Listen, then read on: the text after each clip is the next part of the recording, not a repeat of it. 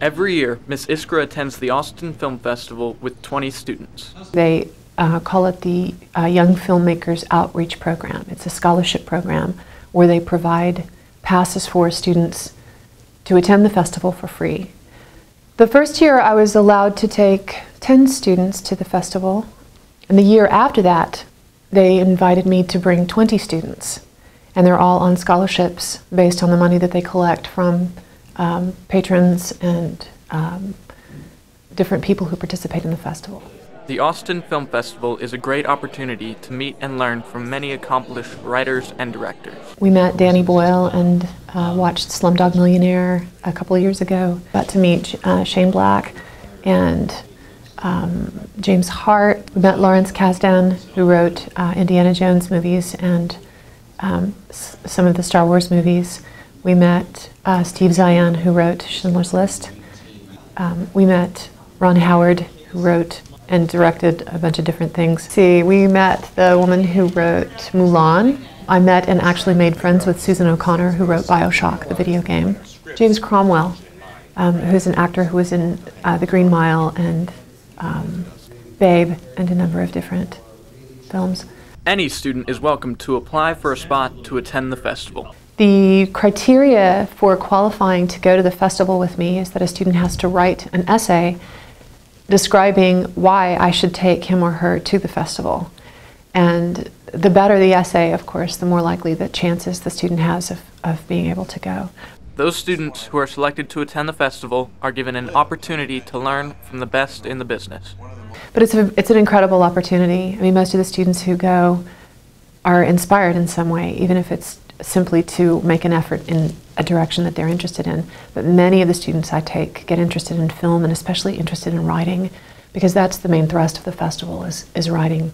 And the panels um, are extremely beneficial to my student writers and they've also helped me as a writer. The Young Filmmakers Program continues to encourage students to pursue filmmaking as a career. I definitely plan on attending the festival in future years. With CPHS TV, I'm Andrew Butler.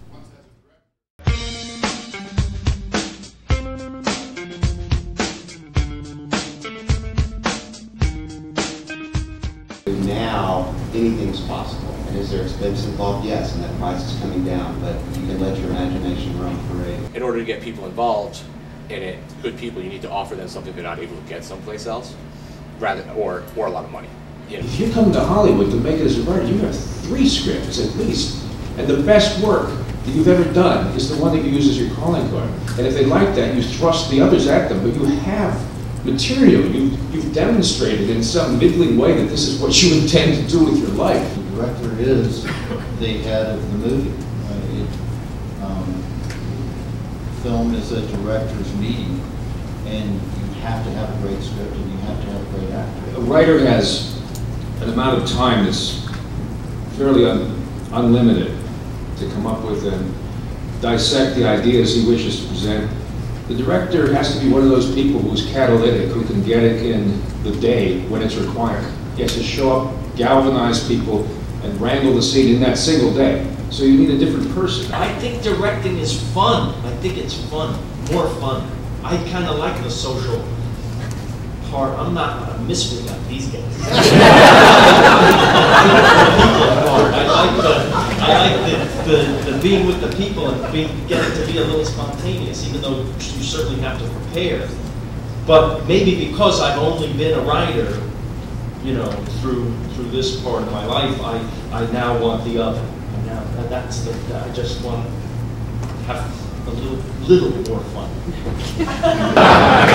so that's what frustrates me these days, is all these obstacles that sort of compromise, dilute, and otherwise prevent me from reaching my fix because I'm now strung out. It's harder to get satisfied by a little bit.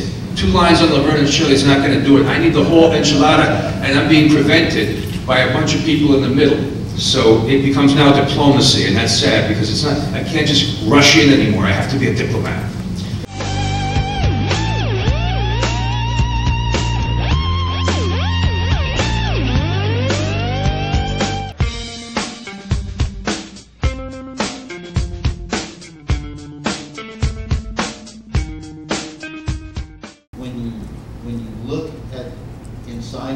Yourself of what is going to matter, um, there is a, there is a, a sort of a switch inside you, and you either throw that switch or you don't. Darabont wrote a great line in Shawshank, get busy living or get busy dying. And that's really what it's about. But this isn't a nice little neat thing. This isn't a, a thing to do instead of get a job. This is a pursuit that will take your life if you let it. And this is a, this is something that requires you to fight for your life, to fight for your soul, to fight for every moment you're living in. You have to, you have to make the commitment inside yourself. If you want to tell a story that you want the world to see, you have to decide to do that. So if you're here just to get in the business, I think that's what he's saying, that's the wrong attitude to take. Your story, your personal story, something that really happened to you is a very good place to start. It's what separates you from you and you from you. So, you know, start writing and start making that, what Jane called your, your calling card. you know. And here you're young, you're alive, you're hungry, you're looking at us, saying, let's find some clues of how to get there, but you don't know the disappointments yet, you're still alive, you don't even know what not to do, you don't even know it's not impossible, so you're gonna do it, and only be told afterwards that it was impossible. That's how hungry and wonderful and beautiful and young everyone here is, and I would do so much to switch places and just sit where you're sitting. don't feel like because you don't have the connections or an agent or the resources that you can't make it happen. You move forward like it's gonna work out, you'd be surprised. The things that can be put in your life for your dreams to come true. Just believe and don't quit.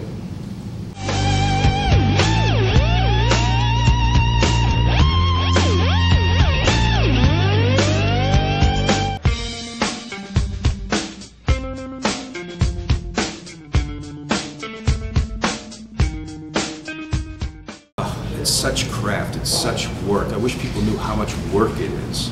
And I think today the illusion through these magazines and these, you know, popularization of screenwriting as a, as a way of making a living has just taken away the sense of how difficult and how lonely it truly is. You need to think of writing the same way a lot of people think of working out. You know, there are plenty of people I know who have kids and have big, busy time jobs and have hobbies and everything else. They still always find time to go for their run. Writing is the same thing. It's exactly that kind of discipline. read a lot of scripts, read a lot of books, watch a lot of movies. Those things end up informing you, and they're almost like things that you don't even, not that you're even looking for. If you're reluctant to go write, if you're reluctant to make yourself do it, if you're reluctant to force yourself wherever you do it, I write on this, there's 15,000 people behind you that aren't. Okay, a screenplay is maybe 110 pages. What has prevented me from writing, completing a draft of this script? Finishing something was the goal. Finishing that first draft, that is yours. Writing is very lonely. You know, you're in your attic typing pages that, to the best of your knowledge, are going to be seen by your mother, and that's it. Start a writer's group. Join a writer's group if you haven't. Get a group around you of like-minded people. There's really only three things in a script that you can work with. What can you point the camera at? What can a character do? And what can a character say? And everything else is, is style or tricks you're getting to make it read better. But basically, you better on paper reveal how you want that scene to feel and taste, you know. It's, it's the character, what the character wants or denies or needs or learns, but what the character wants is the story. But we identify with the character who's under pressure. If you don't write what you know emotionally, you have a dead story.